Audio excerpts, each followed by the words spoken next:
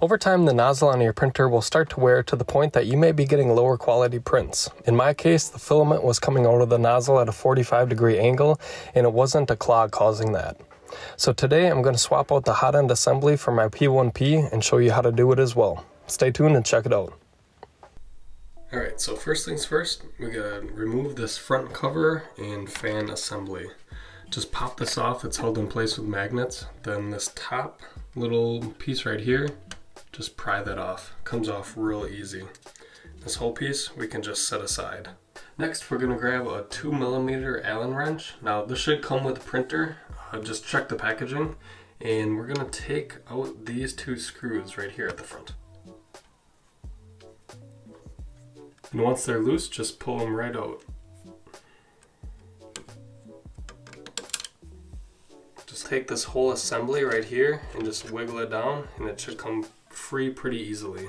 Then you can see there's a little plastic clip right here. We're just gonna work these wires around the free end of that just to loosen those up out of there. If you have small fingers, it helps. And those wires out of the clip right there, we'll just pop these two connections out like that. And now this whole assembly is free. Alright, so the first thing we've got to take off this assembly is this plastic fan right here. Same wrench, just loosen up these two screws and remove them completely.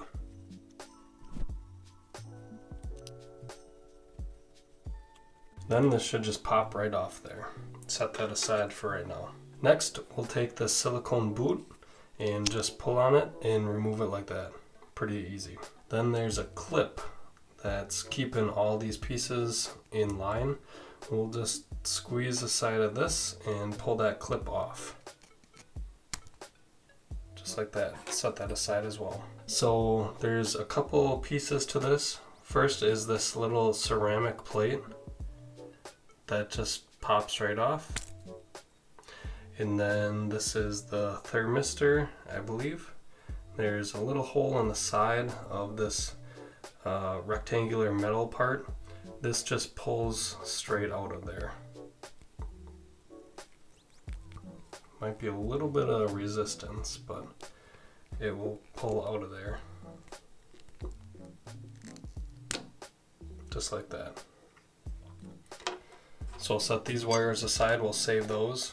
And as of right now, on Bambu Labs website, I believe you can buy just this part with the clip and the silicone boot.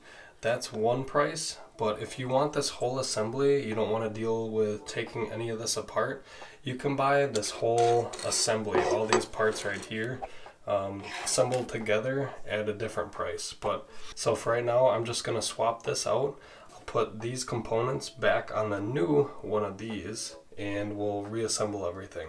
So in this box that should have came with your printer, you'll have a spare hot end and then you'll have some of this thermal grease. We're gonna use both of those items. So now it's just doing all that in reverse order. So just to get the orientation right, you'll see the label is on this side. If you flip it 180, you'll see that there's a little cutout for that ceramic piece to go in. So if we put that ceramic piece right there, you see it fits perfectly.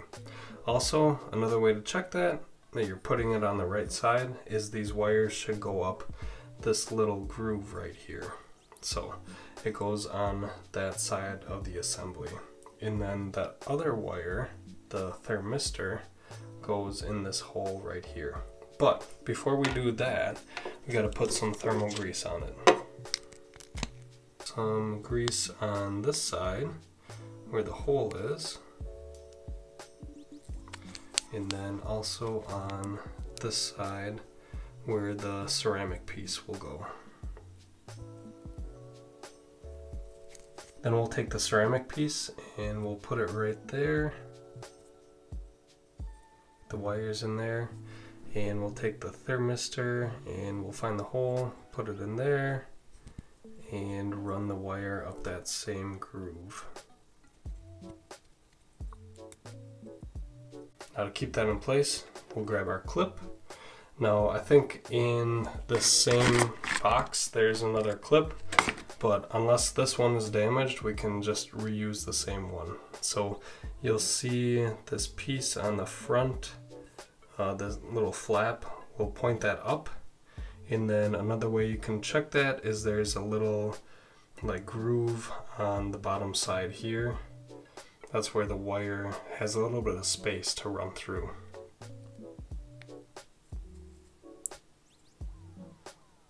It will be a little bit difficult to push that up, but it will go on there. With these wires in place, now it's time to reinstall the fan. So we'll just put this on that same side. The screws right there, just two on the bottom here, and just screw those in.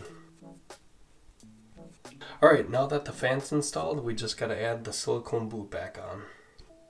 This just pushes right on there, and it's in this orientation. So the Bambu Lab print is on this side, the print over here, and their logo is here on this side, if that helps.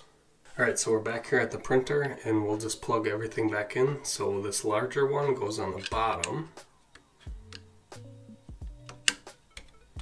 just like that, and this other one goes in the middle section press those in and then we'll wrap the cords behind this clip Easier said than done, especially with fat fingers.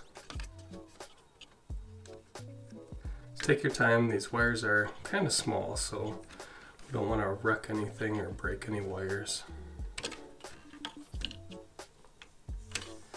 And then with those in place, we'll just slide this uh, hot end up into place.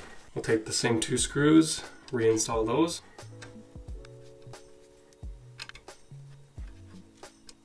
And finally, we'll take this cooling fan slash front assembly, plug it back in on top.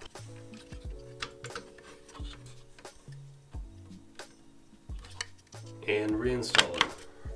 Just clicks into place with the magnets. So yeah, that's pretty much all there is to it. The only thing left to do is rerun the auto calibration process and you should be back in business. If you have any questions, make sure to leave a comment down below and I'll do my best to answer them. And until next time, Thanks for watching.